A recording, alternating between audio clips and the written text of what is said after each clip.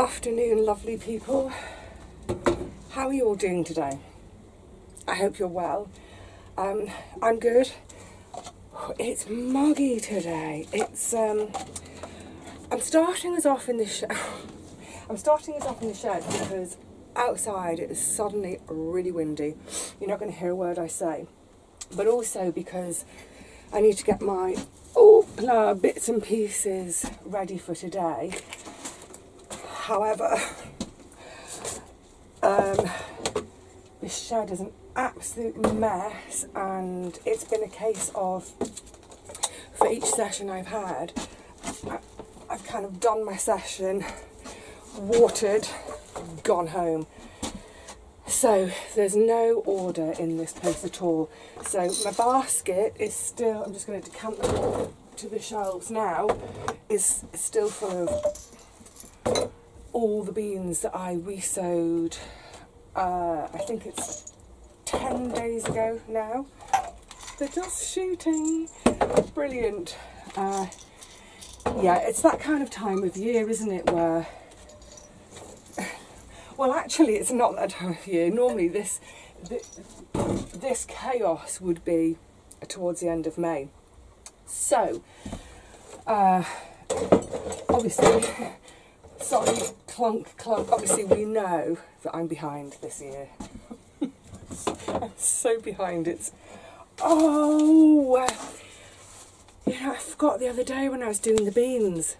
The district nurse from Catherine is it worth putting a few in? No, I'm gonna I'm gonna save these for next year and just hope. Uh, yeah, just hope, hope, hope that I buy a property with a bit of garden. Um, yeah, I'm done. I've got a peb.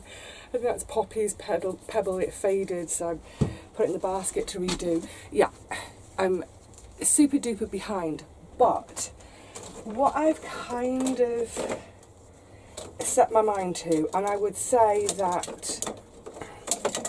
Oh, sorry, fiddly fiddly. Um, these are my row markers from what was the last thing I row marked? Probably the beans again three weeks ago.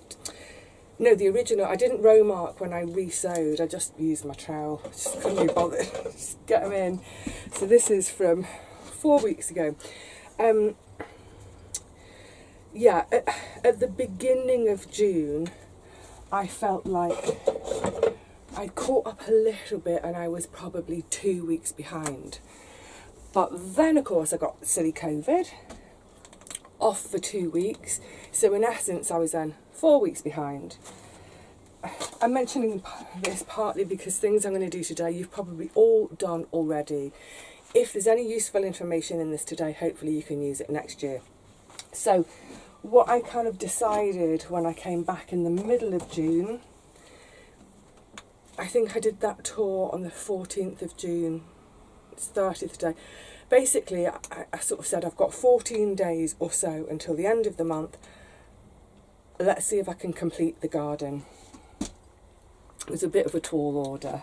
Um, and I haven't managed it. I haven't managed it. However, I'm pretty darn close.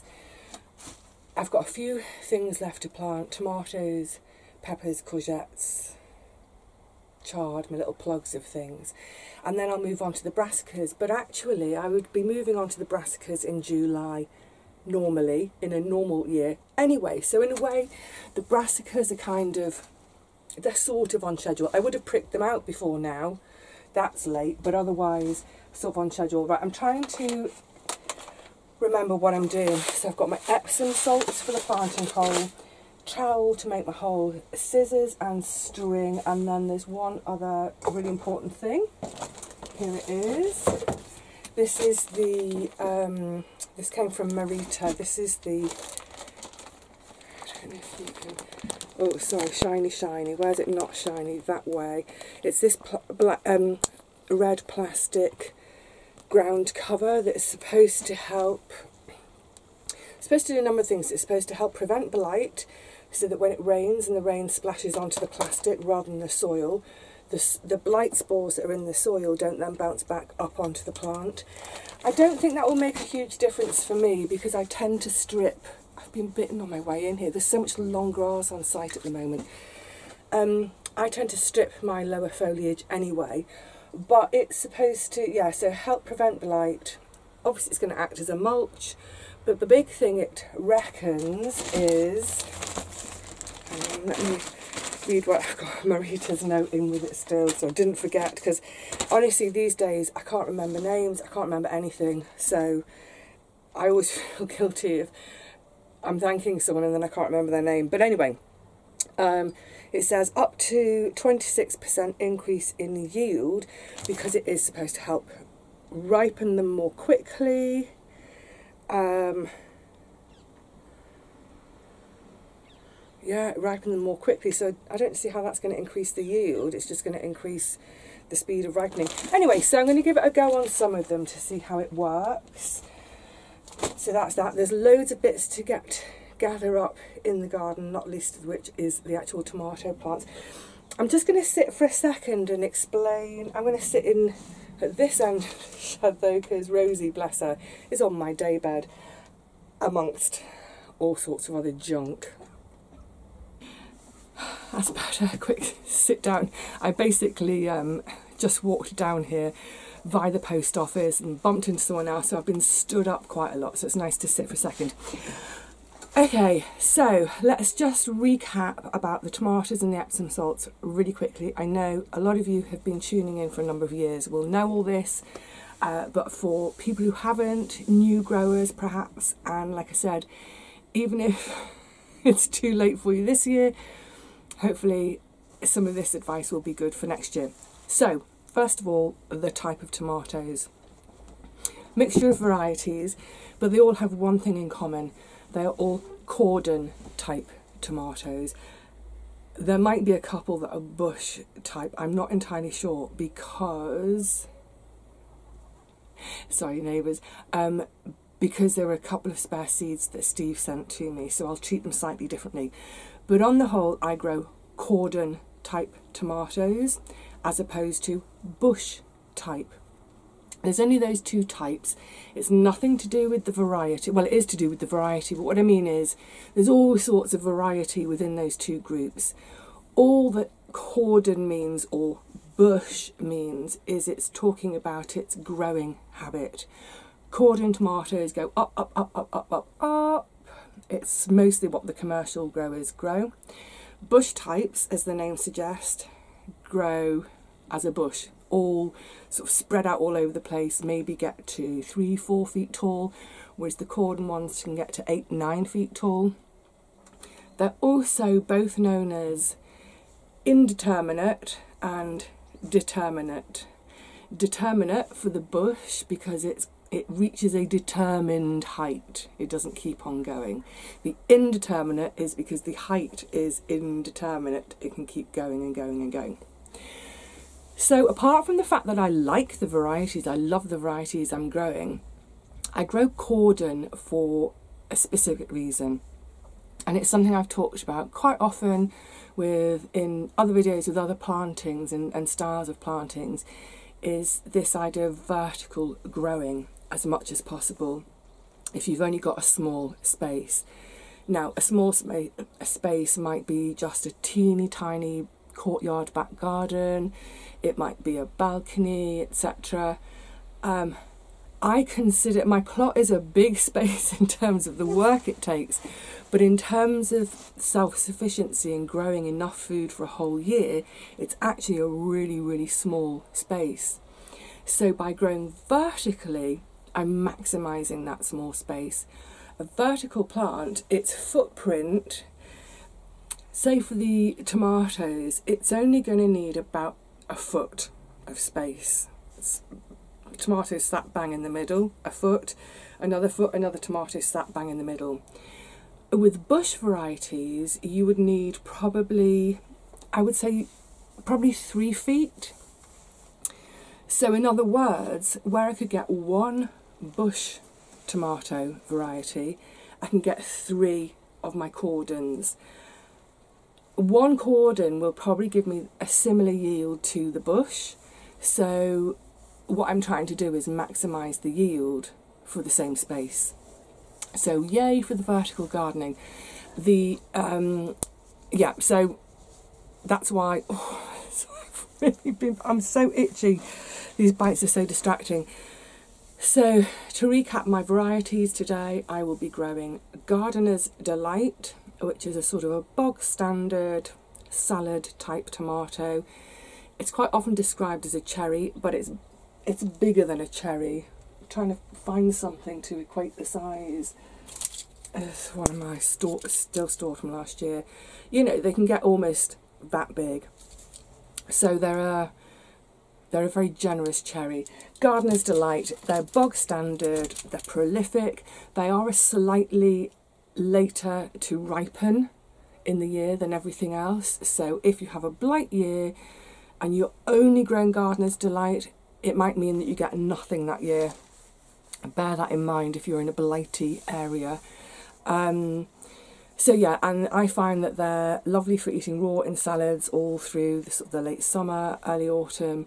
They also work perfectly well as a sauce tomato, and they're a really good tomato for bottling because they're a slightly higher acid tomato. So if you if you are trying to have a slightly lower acid diet, maybe avoid Gardener's Delight. And then the other two, three this year are um, also favourites now, we're, we're getting into the sort of the bigger tomatoes. Amish paste, which is a nice sort of beefy tomato, great for sauces. Rose de Berne, which is that lovely heritage tomato I brought all the way, all the way, a whole tomato all the way back from the south of France for its seeds. Um, that's Rose de Berne. And this year, and I can't remember what they're supposed to do in terms of the aspect, but I also have got the Guernsey tomatoes uh, that were sent to me. Thank you, lovely. So we'll see how those, and then I've got a couple of the the odd ones from Steve. There's a, and I think they're both cherry types. Okay, so that's tomato types, cordon, bush, indeterminate, determinate. I grow this, pack way more into my small garden. And then the other thing to quickly say, fishing it out, is I've got some Epsom salts. I'll add a sprinkle to each planting hole. Epsom salts are essentially magnesium, dry mouth, magnesium. Now I use them, have used them for years to help prevent blossom end rot, which is a fairly common issue with tomatoes where the the bottom of the fruit, which is the first little bit to develop, um, it doesn't develop properly because of a lack of calcium. It gets a brown spot. That brown spot spreads, and it, basically the whole fruit rots. It's not very pleasant at all. Now that's a calcium issue, not a magnesium issue. Um, and the the problem with the with blossom end rot is it's not that the plant lacks calcium it's that the plant can't move the calcium to where it needs it as in the fruits. It's like the calcium sort of gets stuck in the stem. I'm kind of speaking in very lay terms. But that's kind of the issue. The calcium gets stuck. The magnesium um, helps the plant to move the calcium so it can move the calcium to where it needs it so I'm not addressing a calcium deficiency because um, there isn't a calcium deficiency. My soil is not calcium deficient. And I'm not trying to address calcium deficiency with magnesium. That kind of doesn't make sense either. I'm helping the, the calcium that is present to be transported by using the magnesium. In a way, it's like um, vitamin C when we when we're taking vitamin C Vitamin C is much better absorbed when we're having it alongside a source of iron. So, for instance, if you're having your you know, a spinach laden lunch because you need to increase your iron. If you have a glass of orange juice for your, well, or you know, broccoli, anything that's high in vitamin C, when we combine our vitamin C and iron in one meal, that helps in the absorption of both of those things.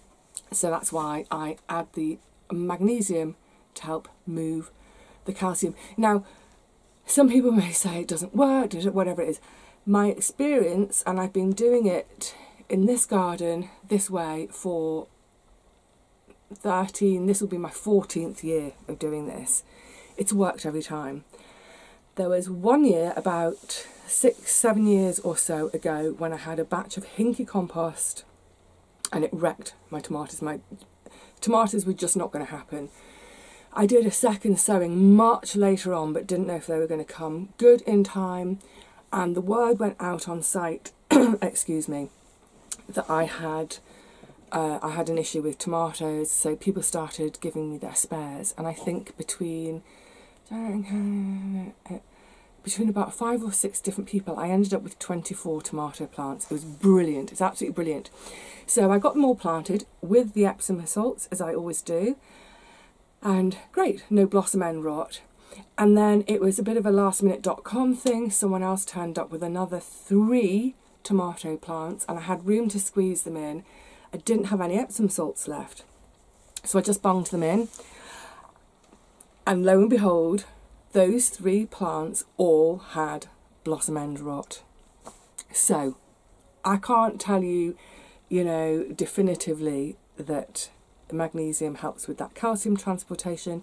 What I know from experience is that I've never had blossom end rot doing this method and the one year that I didn't use it on a couple of plants, they both ended up with blossom end rot.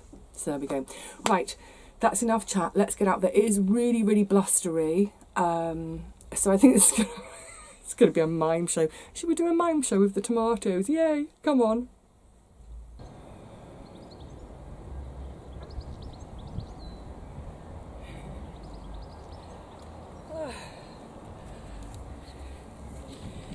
eight foot canes. Now that's what I call optimism. Where to put them for now? Oh, nah.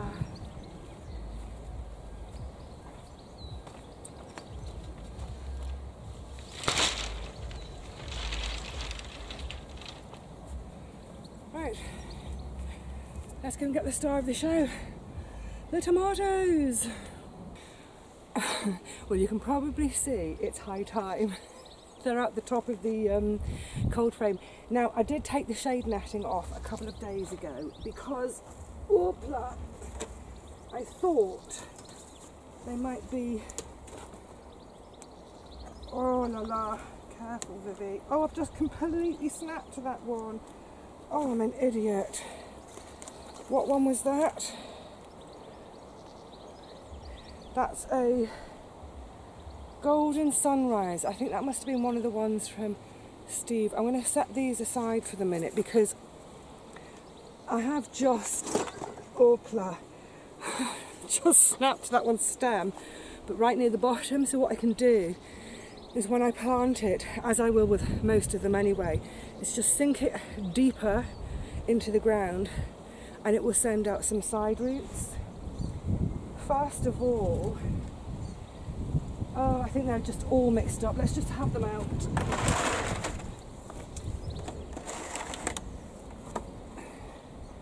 That's some um, Gardener's Delight.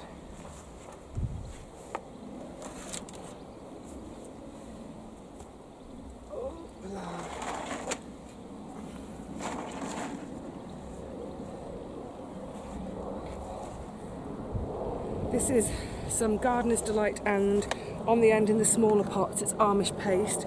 Can you see how the lower leaves are yellowing?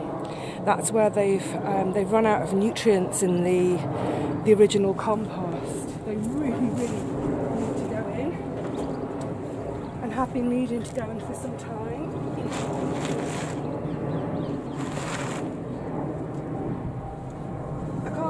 get them all in the wheelbarrow at the same time, but I'm going to just get them out of the cold frame. This is, these are all Amish paste. So you can see they're looking good, big, healthy plants, um, but also plants that are right on the cusp of being really not happy to be in these pots anymore. I want to find, oh yeah, so these Oh, special. These are the Guernsey ones. I think I've got, well, there's six in this tray. I don't know if I've got any more in any other trays. So what I'm going to do is so I can see already that there are little side shoots. I'll talk more about this when I do tomato cares in a week or so. So with a cordon, I'd have these side shoots out. However, as I said earlier on, I can't remember. I can't remember whether they are a cordon or a bush, whether they are an indeterminate or a determinate. I'm running out of space. I want to get all the gardener's delight in first. Oh, do you know what?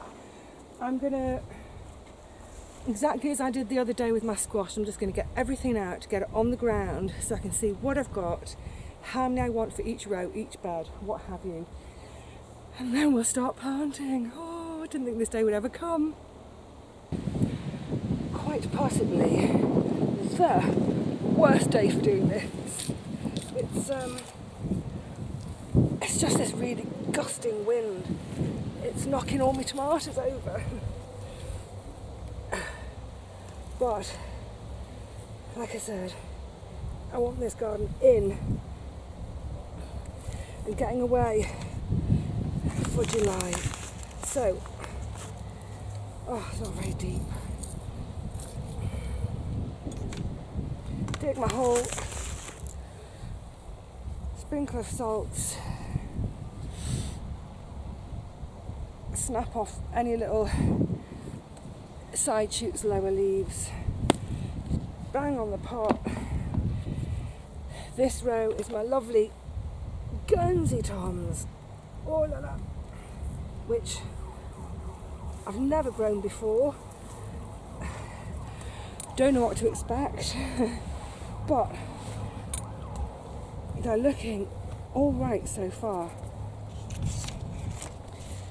Plant in and then a stake. In terms of the ergonomics, I'd normally just get them all planted and then do all the staking and tying later, but I'm staking and tying as I go. Uh, like I said, just because it's so windy, and having snapped, having snapped one of these precious plants getting out of the cold frame, I do not want to snap anymore. If you can hear faintly in the background, you can hear a bit of noise. It's there's um, I think they're warming up or testing out or whatever. There's a there's a I can't think what you call it, like a festival happening at oh, Crystal Palace this weekend, uh, which is, if I carry on going, I, I'm always talking about where I live on the hill. The hill is, I'm actually halfway up to the top. I'm the top for my part of town, but if you carry on and carry on, you get to Crystal Palace.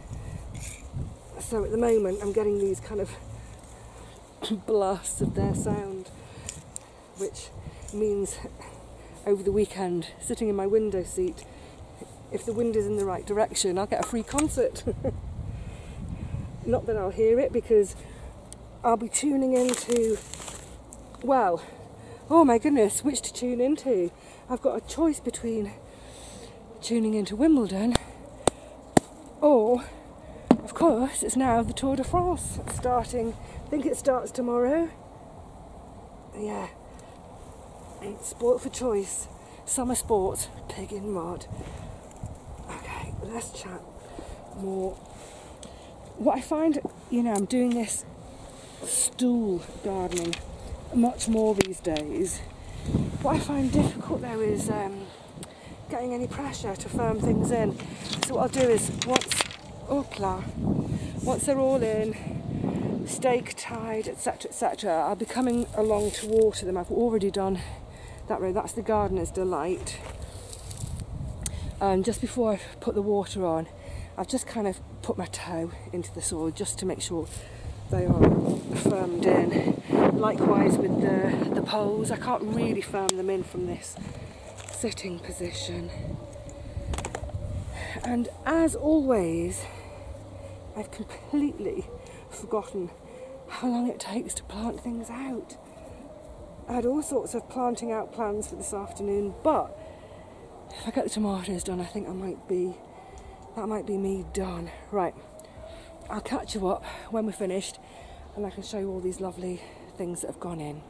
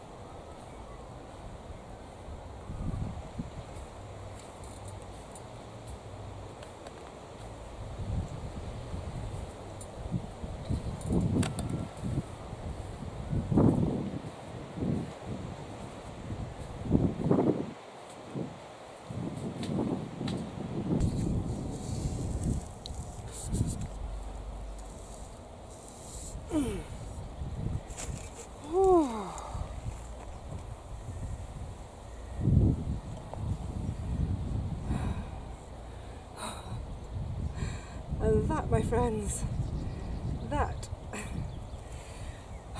is a wrap. Almost. Oh my goodness, that's quite an effort. So this bed that we're in this year for the tomatoes, it's the bed that's slightly wider than all my other beds. Um, comes that wind again. Where I would normally get eight plants in a row, I've managed to get nine in. So instead of 32 plants, I've got 36, which is great. And I don't know why. I don't know why it's it's such an effort. It's just 36 plants, but I suppose, you know, up, down, up, down, along that. Look, they're done. I am re chuffed. so, yeah, as I was saying at the top, I really had hoped. Um, I'm going to have to project a bit, even though you're right there, just because I don't know what this wind is doing to our sound. I said right at the beginning that I'd wanted to get the garden planted by the end of June. Um, I almost did it, almost. So after today, in terms of planting, I mean, don't forget, I did do a load of reseeding all the beans. So now left to plant are courgettes, a few straggly peppers, they've really suffered. Courgettes, peppers, brassicas, which are a July job anyway, so they're not behind. And I've got, having done all this parting, so remember I said I was going to get, I got them all out of the cold frame, got them sort of like, I was trying to arrange them on the path, but the wind was sending them flying. But I counted up to make the most of sort of having a complete row of Rose de Berne, an almost complete row of Amish paste. There was a place on the end, I put my spare Rose de Berne. There's a whole row of Gardener's Delight. I'd normally do two rows but the Gardener's Delight were the ones that got eaten by the slugs. I've never known slugs do toms. Behind them are the Guernsey, yeah, the Guernseys. Is that what they're called? Just Guernsey tomatoes. Anyway, the point is, I got all my main four in, and I'm left with six plants. Four are called something like Black Cherry, and two, one of which is the one I broke, was called Golden something or other, Surprise. And they're the ones from Steve, which I'm not sure if they're Bush or Cordon. And I'm not quite sure where they're going to go yet. I've got a few ideas, but that can wait too. So, in other words, here we are, right at the end of June.